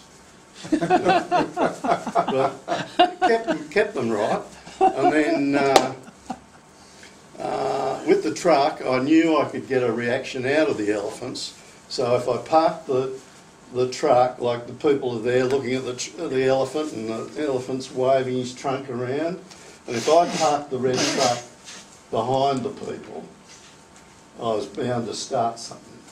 And because he hated the red truck. And he'd work up the greatest golly you could imagine and just out he'd spray. They go, oh, jeez, you know, I've got this. But Ross got caught at one stage because he didn't get, the window didn't go up in the, in the car. And I had to get away quickly, and when I dr- got away quickly, the back doors opened and the bottles fell out. So I had to get out and pick up the bottles. He had a free go at me. But um, I then continued on at the zoo because, um, with medals. I ended up um, selling medals da- down at, at the, in the different kiosks. So uh, I, they, uh, I knew a lot of the staff down there and uh, it was free entry afterwards as well. I think I've worn that out. I think they wouldn't recognise me now. But um, yeah, they were good days. Now, why I can't, I really can't be a um, an editor to look after you, as I'm still very much involved with this, and I'm um, the editor and uh, secretary for this. And it, you, it's so hard to get people involved, but I'll pass that around. But that's our latest one. And, and, and this one, that, that particular note, I've got written up in the, uh, the latest one, and you just wouldn't believe what's come of it. It was a Victorian postal note that was issued in Japan. And it came up when we did that uh, uh, conference, and the uh, papers came in from people. One came in from this uh, Malcolm Johnson, and then he referred Royal. to, to my my article, and so we got talking to each other. And he's got a website which actually showed this. He, he was it was just part of his collection. But what's astonishing with it is it's made out to a Rex Allison. And when we start digging about this Rex Allison, I could write a short story, you know, probably something like that for it. This guy would have been the, um, oh gosh, the collector of all time. Like, um, they've named, Colin had named, uh, uh, too old, uh, I'm forgetting the names of some of the US collectors uh, that were uh, incredible, the, the lengths they went to. But this, this Rex Allison um, leaves them all for dead. Um, he, he decided to get covers. It was interesting seeing Rod, and Rod's going to talk a little bit about covers, but this guy um, collected the covers for um, the air race in 1934 for the Melbourne, marking the Melbourne centenary from London to Sydney to Melbourne. He got envelopes addressed to himself, and like this postal note, he got obviously got a friend over in, in Japan to, to do it for him. Um, each pilot brought a letter that, that was addressed to him with this centenary stamp on it and such. He ended up putting his display um, in an exhibition in Melbourne in, oh, I think it was 1936 or something like that, and he was given the Gold Award. The, um, he'd gone to the length of getting the, each of the pilots to sign the, the envelopes to the extent where the only Australian pilot in the air race said he wouldn't sign it. So he comes up from Melbourne, mostly lived in Melbourne. He was he'd been in the Navy, and came up to where the hotel room that this pilot was in, and just sat outside until he'd sign it. And so he got his signature, and unfortunately, that pilot died in an air, air smash a couple of years later. But he was then uh, given this gold award uh, for his exhibition.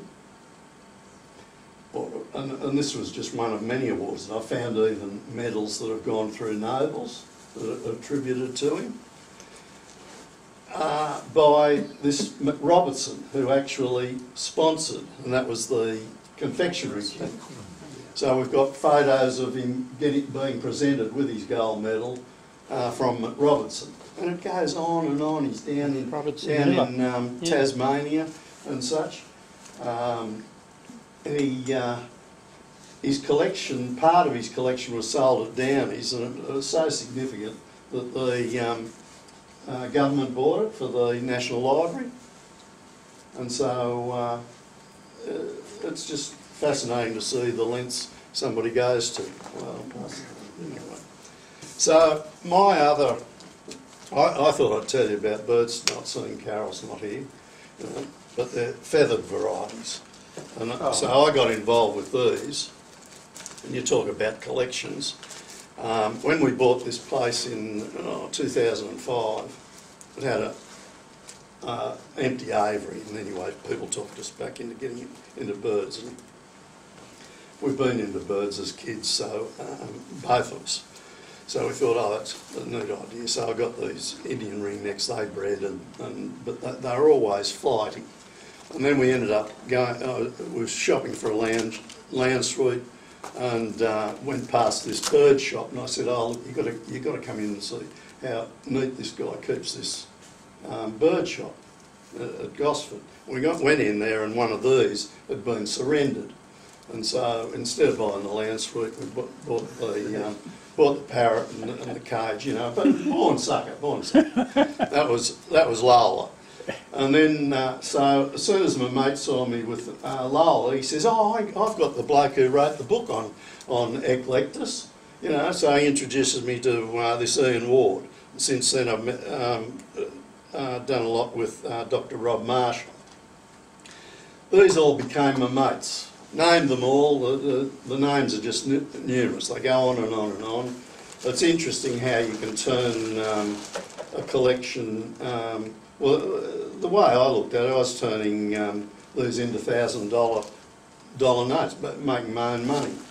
And what I mean by that is, you know, we're hatching out one. We've got to put that up, if you may, can.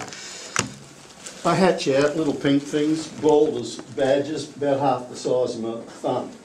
And of course, uh, even It looks just like you, I Ross. on I can see the resemblance. yeah, yeah. it's staggering how strong they are at that age. See the, the, the little bit added on the end of the beak sort of thing? That, that gets them when they're broken out of the um, egg sac. And that's what they're doing. They're fighting for air. They use up the air in the air cell and then they start um, pithing. And I've gone through some, um, well, uh, you get romantic with these birds. You've got to, got to um, uh, mother them and uh, seen the ones starting to pip, and they sometimes use it like a, like a chainsaw. They can come out in, in, in an hour, or it can take 27 hours. But when, when you see some of them struggling, and they're supposed to come out with the beak, but sometimes you get them reversed, and you get ones throwing a leg out, uh, saying, I'm coming into this world, you know. so, A breech bird, right? yeah, yeah, so probably. But um, that's what I'm doing still at the moment. I'm still hand rearing these ones. We, we bred in um, 2014, uh, I bred over 70 of them. And was, they were easy to sell. And as I say, I, I, uh, the, of the best, the better ones, um, this particular variety, if you can put it on that, is a, a Vosmaeri from um, Indonesia that um, they only brought very small numbers of, them into, into the country. They, they um, smuggle them in. And uh, I've had them, I've had people drive up from Melbourne and um, fork out three and a half thousand dollars for one that I've just bred. It much, what, what sort of difference are they in colours between them? Well, that, when they were first discovered, they first noted in a bird book. I've got a magnificent book where they first noted in about the 1790s. And they always thought they were two different sp- um, species. These are the hens and these are the cockbirds. But um, they thought this was the cockbird of a s- different species. So that gets me going there. Um, I won't bore you with cars. It's a, a you know I collect did collect cars or something. But um, what I'm into at the moment, and as I say, it's, it's fantastic when, when you get something going, um, such as putting your hand up and, and doing the job, and I'm sure Rod would have stories like this, where you're in touch with people around the world. Now, I turned up this um, ch- uh, child endowment order, and what it is is, is an early punch card. And um, the uh, note printing branch handed the printing and manufacture of the child endowment forms, which they produced in millions, but you know, very hard to find, um, handed over to IBM in about 1959. Got hold of this item, and of course, I, I've always got to try and work out some of these things, and they, they've got these with the with um, uh, postal orders. You've got um, your check forms. You've got the micro encoding at the bottom. You know the ba- banking system. Well, that was pretty easy uh, for me to work out. This one's got these slots in it, and um, I'll just pass that around. And that's for the punch card system. And lo and behold, you know, I've got a, a mathematical genius over in England who can um, decipher the code for me because I haven't found out anything at the Reserve Bank. They, they've got one example of this in their, their collection. Um, so we're meanwhile we're deciphering that. But in brief reading today about the um, punch cards goes goes back to the 1700s or 1600s. And I, th- I was of the opinion that that was the first of the computers in the 1950s. Hmm. But apparently it dates back long, long way back before then. So that's that's about it. Thanks, Russ. The story about those practice parrots. Do they sort of lend themselves to sort of you know, human sort of Yeah, other birds? yeah. Like I've got ones in a, uh, I, I got it up to about 120. I've got it down to 80. If I got rid of them all, I'd put my hand up and be your editor. I, I just can't do it. and the um, uh, I've got them when, when I, I feed them twice a day, and when I'm down feeding them, I've got them talking to me. You know, um, how you going? What you doing? You know, whistling at me and such. They're your Well, mates. You I- know. I, I was up in Queensland and I went to one of those big places where they had, had birds on display there. And I went in there with, uh, with my um, mate from England and his wife and, and Pat. And I have a bit of a thing about birds. I'm a bit stupid, you know, because I have copies of them and all those sorts of things. And um, I always go in and I talk to the blinking birds and I bounce around, go, and all this sort of stuff. And I went into this aviary, and there was there were a lot of birds, and there were these two there, and they came down a bit low, so I started mucking around with them, you see. The blooming things went and came and landed on my shoulder, and I noticed on my head. And there were a lot of Jap Chinese there, Take the photos. and they came over in droves, taking. Pho- I, I probably a hit in China. Um, they took all these photos, and I'm standing there with the birds, and I'm scratching them and dancing around with them. There's all these people taking photographs, and I've never forgotten it. And I thought, those birds was, must have been sort of trained to come and just jump on me. They didn't know me from a bar, so I've never been in there before. So that's why I was asking, do they sort of lend themselves to people? Maybe they thought I was going to feed them as well. I don't know. It, it was sort of one of those things. Well, I didn't forget that. They get trained. We, I was um, called in. John Singleton's built built a phenomenal aviary up at his property at Strawberry. It's up at uh, Mount White. It's called Strawberry Hills or something. But he's got a phenomenal aviary there, and with people um, in attendance to keep it all going, and he lets them out. All these blooming um, macaws and African greys, and he's got these these got nest boxes in the bush with these uh, breeding in the bush and um, coming back. Coming back. Coming back.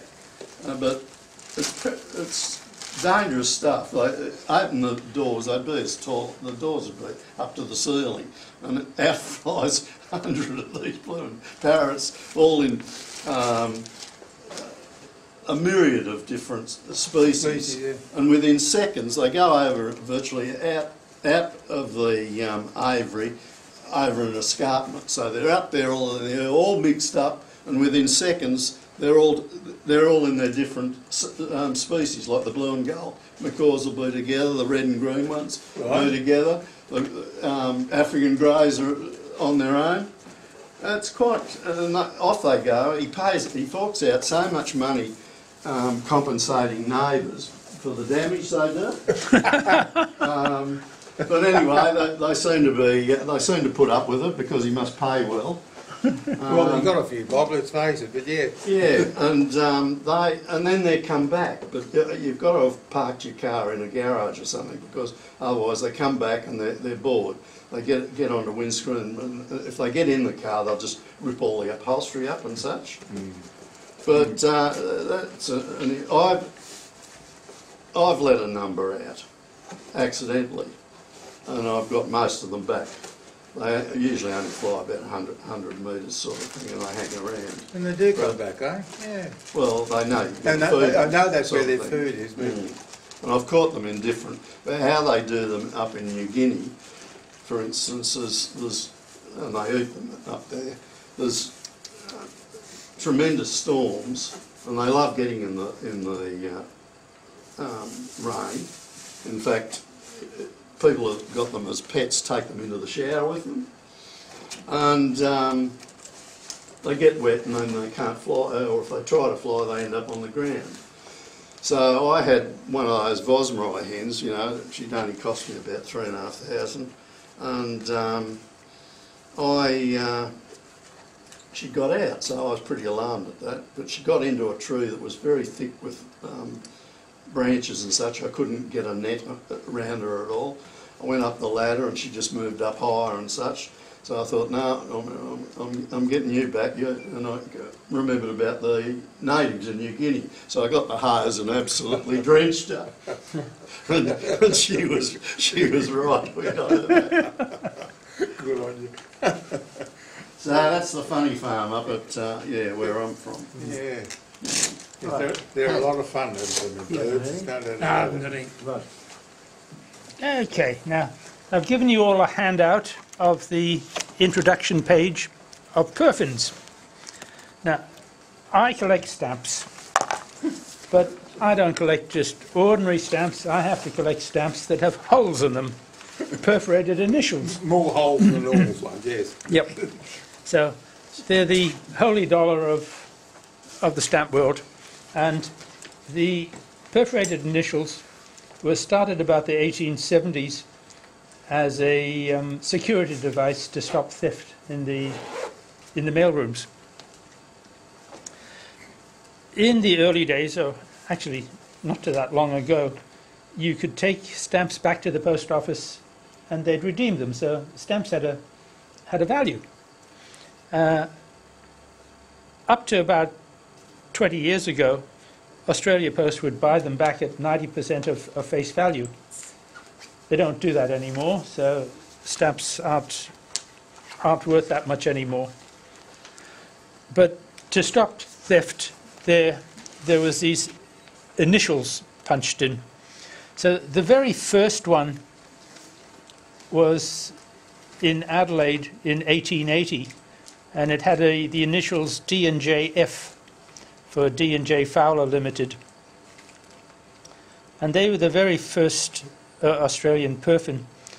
Um, they Fowlers used to make um, cisterns. So you, you you know your your Toilets, your, your yeah, toilets right. and what next were, were Fowlerware and made by these people. So they're they're still around.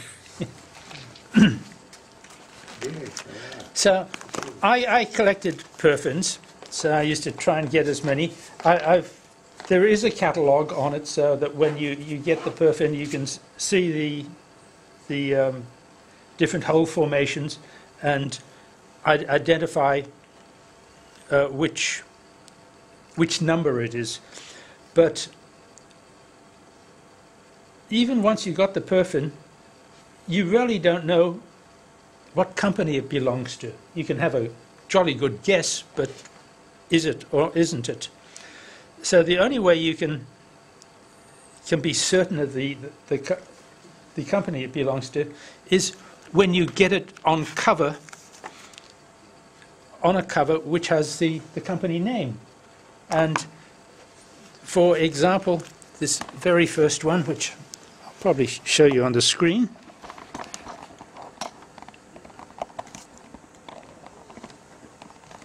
Doesn't come out very well. See if it comes out better if I get it there. So it's AA1, it's called. The, the marking looks like that. There is a, you can't see it very well there, but it's, it's that marking on the stamp. And it's the Alliance Assurance Company, also known as Imperial Insurance. So these insurance companies, they, they have several different names that they, they sell the different brands, but they all, all belong to a parent company. Uh, trying to find the there's probably about 3,000 different private perfins, of which less than half we know which company they belong to because we have have them on on covers. This is a, a pretty common one. We've all heard of Anthony Horderns, most of us. So that is the perfin AH and S, and it's on that Tuppeny stamp duty stamp, and there's Anthony Horderns and Son. So it, it, it was seen quite early on. It's a fairly common perfin. You can see I've got it on quite a few different different stamps. but there are some some perfins are very hard to get, so there's different rarities amongst them. The a couple of years ago, I decided, besides having the the stamps, I also wanted to get them on either card or cover that would be approving. And once you have the perfin on a cover with the company name, it's called approving cover. So it proves that that perfin belongs to that company. So proving company, proving covers are quite difficult to get. Here's a, another fairly common one, A and R, Angus and Robertson. So I've got it on on the, the proving cover. On on the back of the cover, it sh- shows Angus and Robertson. Uh, on the pages that I put up, I want a stamp with the initials on. That's the pattern on that, and then I'd like it on a cover, and then I also show some of the other stamps, other um, different stamp ones I've got. There's a myriad of different ones from all around Australia. This one is BSNL Limited, and it's a, a company called Bagot, Shakes and Lewis. Again, South Australian stock and station, stock and station agents. It's another. It's been used from 1899 to 1925, so they've seen cancels on the stamps which have that over those dates. It's a common common one, so it's not difficult. And this is my proving cover for that one. Um, B&T1, Bankers and Traders Insurance Company in Sydney, Pitt Street. So again, I've got it on one of their policy forms. Burroughs Wellcome, it's a pharmacy. Again, it's a pretty common one. The the trouble with um, these is until you get a proving cover, you're really ne- never sure it really belongs to that company. You, you can say, okay, DJ and Co. It has to be David Jones, but until you you've got the cover to prove it, it's just uh, just a guess. Are there catalogues on this? Yeah, yeah, it's a phone book thickness catalogue. Is it's- this a Cinderella section, sort of? Well, they, they are genuine stamps, so it's not really Cinderellas. C- Cinderellas are usually made-up stamps and mm. things. Made So- up stamps by who, the government? By Any, Any- any, anybody. any- Anybody.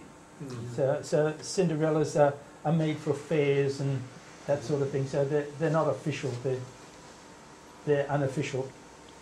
Whereas these are genuine stamps. You got a vacuum oil company one? Yeah, well, Oh, vac- vacuum vacuum oil has about 20 different markings because each of the main cities had, had their own. And you have, with vacuum oils, there's some VOC in one line, then there's VOCO in one line, and there's VOCO on the next line. There's, there's about 20 different markings, so it's, it's, it's all over the place.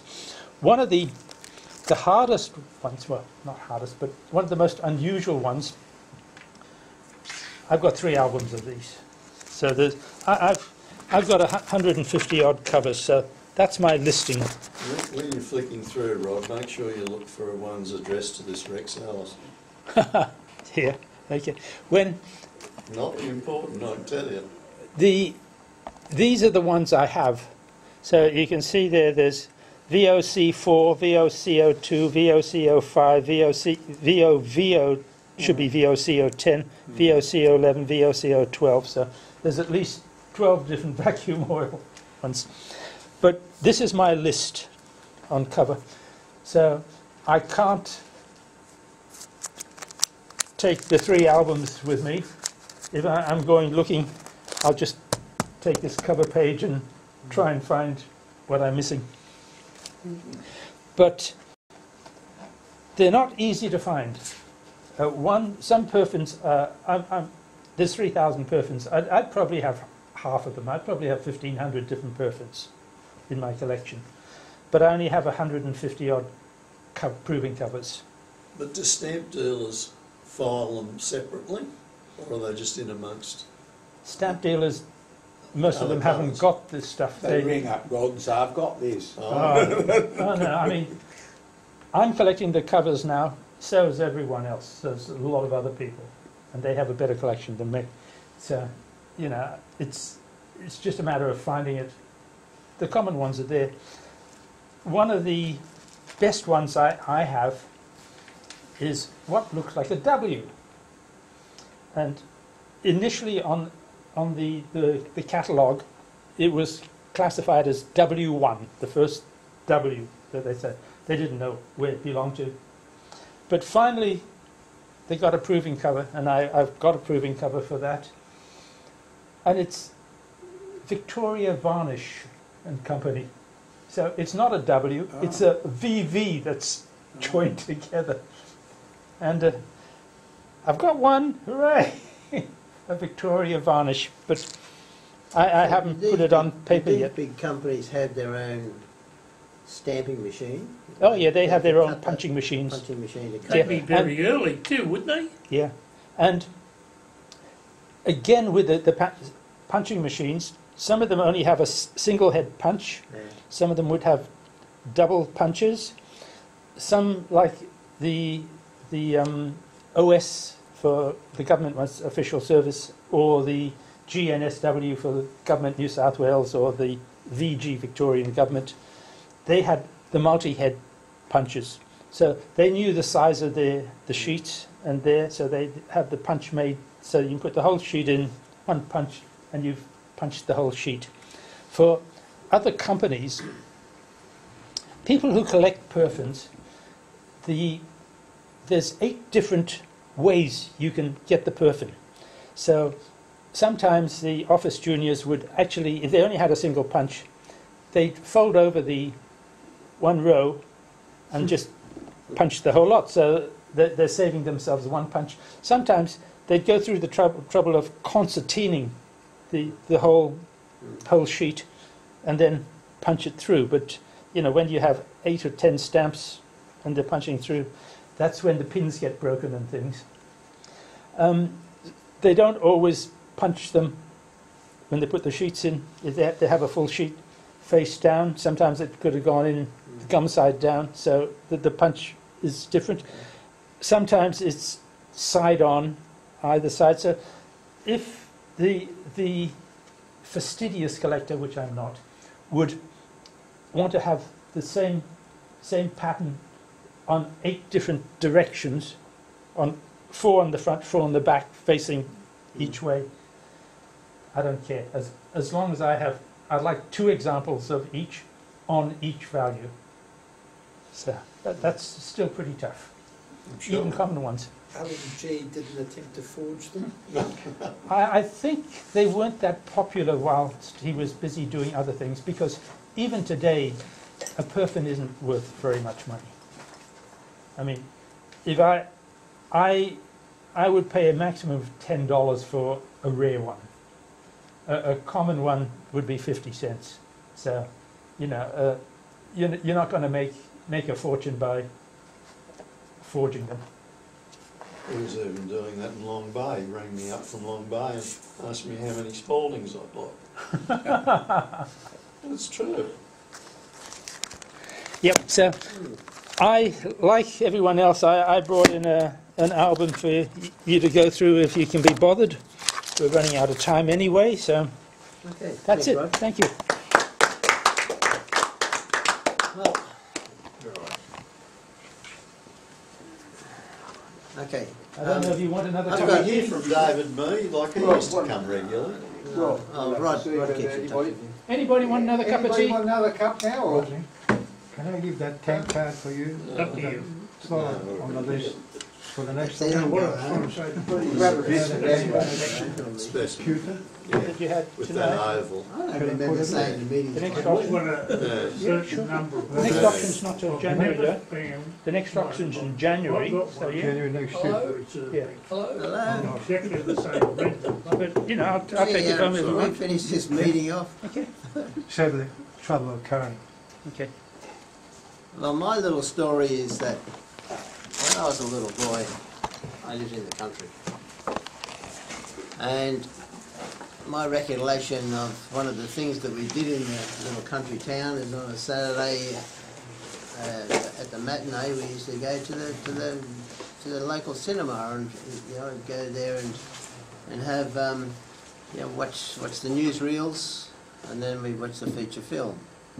And that was all okay, but, um, you know, oh, plus the fact that we used to always buy a choo-choo bar. You know, and used to sort of get stuck into that thing, and, um, know, we'd be eating it all afternoon, because it was really solid, um, licorice stuff. But one of the things that we used to always do also in intermission, as well as getting the choo-choo bar, is we used to swap comics. Make it fifty dollars. and we used to always go to the, to the cinema with a stack of comics like that, and you'd go and trade them with, with the other kids in the local town. right? So, um, so I, you know, I quite enjoyed those comics, and yeah, well, you know, times times have changed, and um, you know, the comics disappeared. But um, just lately, I've come across Phantom Act comics. Right now, these are starting to be reprinted. So, um, so I'm starting to collect these ones now, um, because of my earlier days of collecting comics, and um, you know, especially the Phantom comics. These are all, you know, as I say, re- reproductions, and some of them um, actually have the original um, cover of the of the original sort of comic in there. So somebody's got a lot of archives, and but um, these things are basically read- readily available now, and um, yeah, but they, they have all sorts of different types. You know, like this is the Phantom World, right? There's um, know, probably um, know, well, it's ten pages. So, know, mind you, you know, you're paying ten dollars for these things now. So um, But are they, in- they in a packet? no, you can buy them individually. No, the- you buy them as is, they're Like not this. in a envelope or something. No, no, no, no. You buy it, buy it like Because this. sometimes they used to sell them. There no numbers If you on them? didn't open them. Oh yeah, no, you, So- you've got you've got numbers on them. Like this one here is um, number one thousand eight hundred and seventy-one. Oh, right?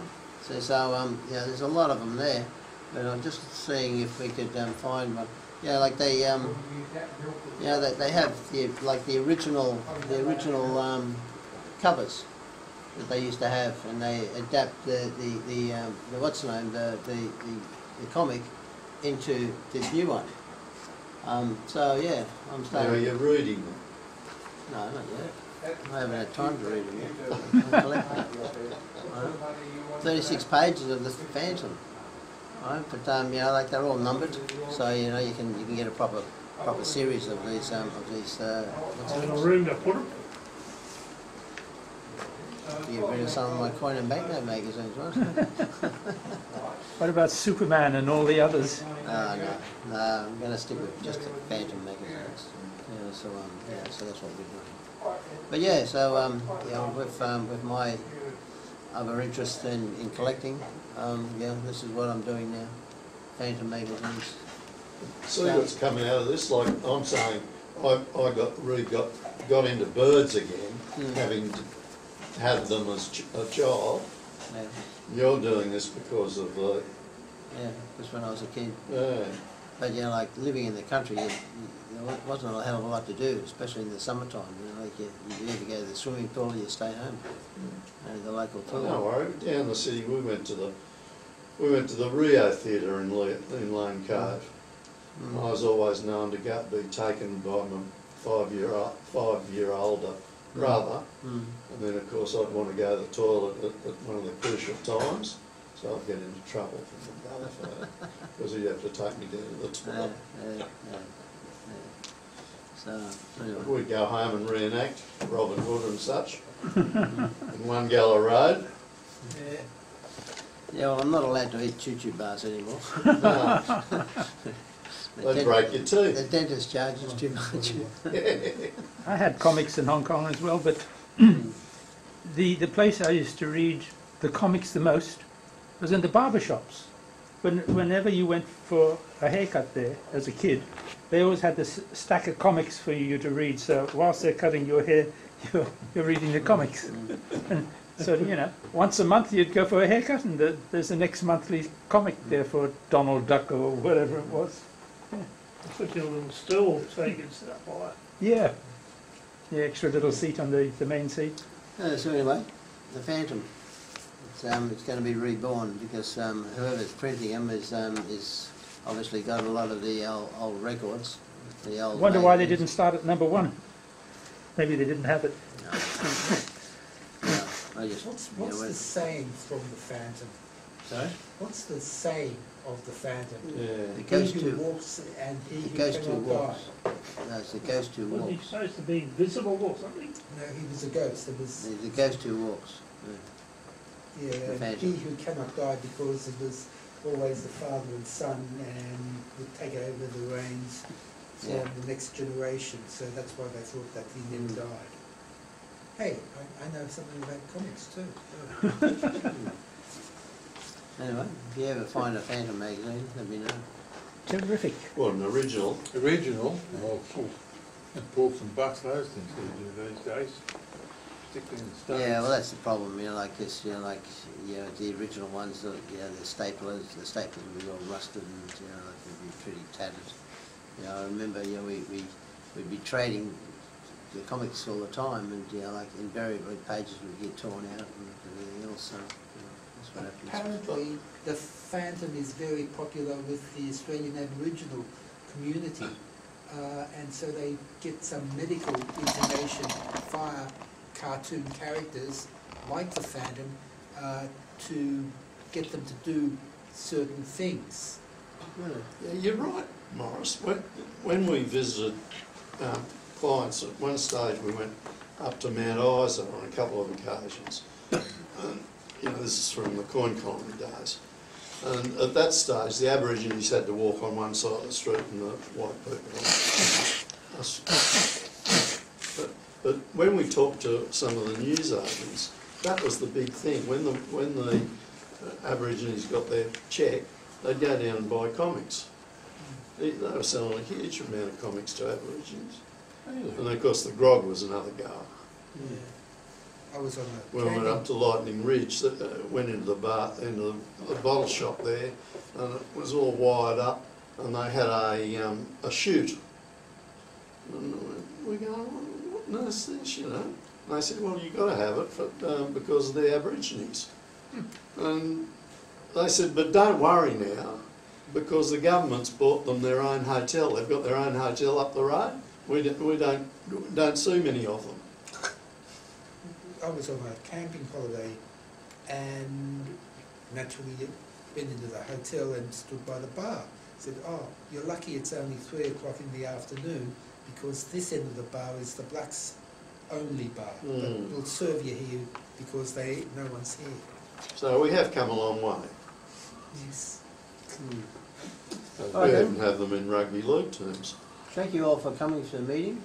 Um, I'll close the meeting and um, uh, thanks to the new committee that um, we're going to have another 12 Yeah. months of Right. um, relations. All right, thank you. You might have to edit some of that